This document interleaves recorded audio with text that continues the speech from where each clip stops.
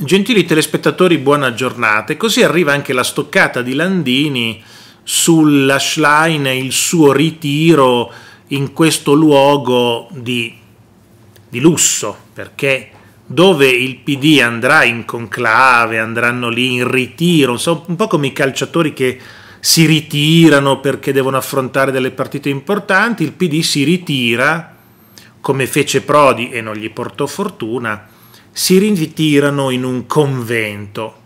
Un convento che poi, parliamoci chiaro, è una sorta di resort di lusso, di stra-lusso. E così non le manda a dire Maurizio Landini al Partito Democratico e alla sua amica Elena Schlein.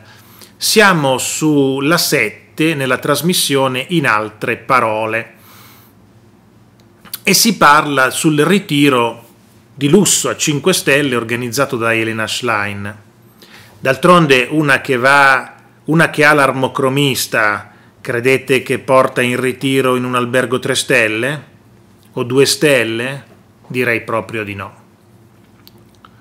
Perché, attenzione, è un, quello che è un convento, uno si immagina che vanno in una grotta, no, vanno in un resort extra lusso con la spa, nell'hotel ai Cappuccini a Gubbio tra il 18 e il 19 di gennaio. Quindi non è che vanno in ritiro in un convento insieme ai frati a pregare, no, vanno in un resort extra lusso ai Cappuccini. Una scelta un po' lontana dalla sinistra e dall'immagine che dovrebbe dare l'immagine vicina ai poveri, agli ultimi. Quindi il PD si ritira nel resort extra lusso.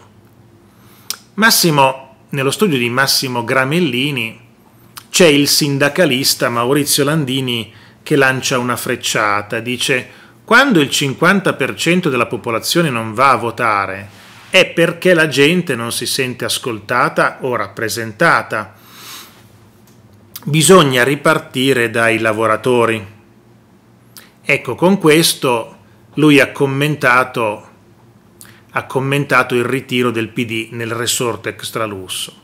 Lui dice questi vanno nel resort extra lusso quando c'è il 50% degli italiani che non vota perché non si sente rappresentare, si dovrebbe andare non nei resort di lusso, ma si dovrebbe tornare ad ascoltare ascoltare i lavoratori, le persone che lavorano nelle fabbriche, nel commercio, bisogna ripartire insomma da tutti i lavoratori, non andare ai cappuccini resort extra lusso.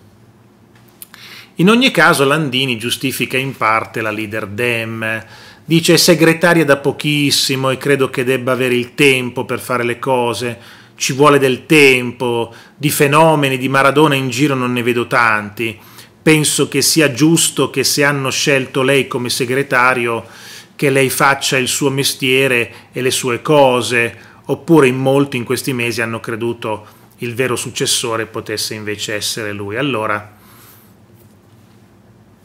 da quando è stata eletta la Schlein come segretaria del PD, si continua a dire ma è poco, è appena arrivata, dategli tempo, al posto che dire non è capace a fare questo lavoro, proprio non ci siamo, eh, al posto che dire così dicono vabbè ma dategli tempo, è appena arrivata, già solo dicendogli, dicendole, dategli, dicendo datele tempo, è appena arrivata, stanno chiaramente ammettendo che non sta andando bene, se no direbbero che va benissimo, invece dicono datele tempo, perché il giudizio è negativo. È negativo datele tempo, non positivo datele tempo.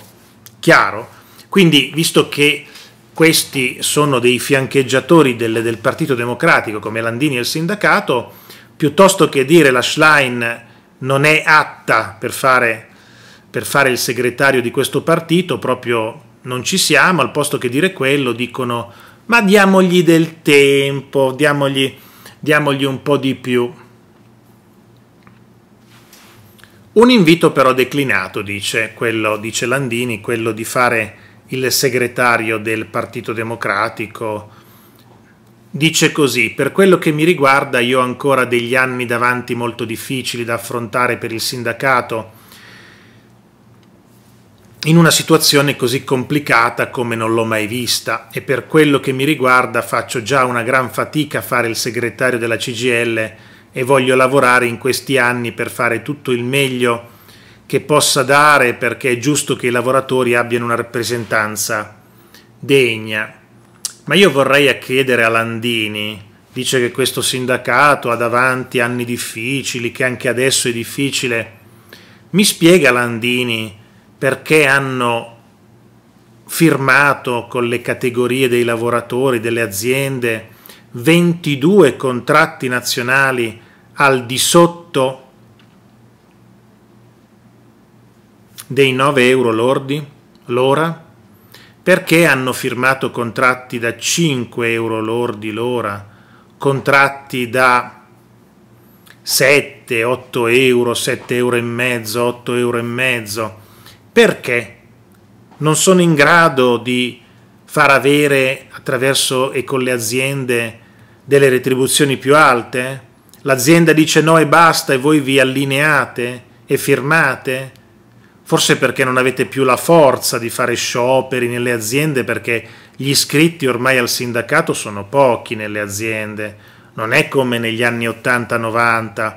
Forse è per questo non avete più la forza di affrontare le aziende, le aziende spadroneggiano, se no quale altra risposta può esserci a un sindacato, a dei sindacati che firmano 22 contratti nazionali al di sotto del, della soglia dei 9 euro che poi era la proposta del salario minimo della sinistra. Ovviamente i 9 euro lordi sono vecchi di almeno 7 anni, oggi dovremmo parlare di almeno 11 euro, almeno 11 euro lordi, ma eh, sotto gli 11 euro lordi sono molti di più di 22 contratti nazionali, una gran parte. Quindi vuol dire che il sindacato, ha ragione Landini, non sta funzionando bene, ma secondo me non sta funzionando bene oramai da diversi decenni. Questa è la triste realtà che abbiamo di fronte. Io vi ringrazio per avermi ascoltato, vi auguro buon proseguimento di giornata ci vediamo al prossimo video tra una ventina di minuti. Arrivederci a tutti e grazie.